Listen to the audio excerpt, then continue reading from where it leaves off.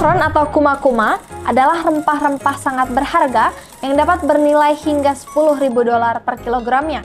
Ibrahim Rahimi melaporkan dari Kos Afghanistan tentang upaya negara itu menggalakkan warga menanam rempah-rempah berwarna merah yang mahal.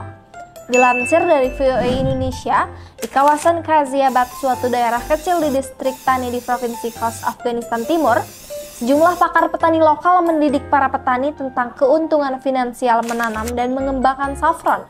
Saffron adalah sejenis bumbu yang berasal dari bunga Crocus sativus yang merupakan salah satu rempah utama dalam masakan Asia dan negara-negara di sekitar Laut Tengah.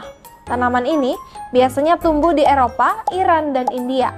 Dalam tujuh tahun terakhir ini, Departemen Pertanian di Provinsi Kos telah menggalakkan penanaman saffron dengan menyediakan bibit dan pelatihan untuk menanam rempah paling mahal di dunia.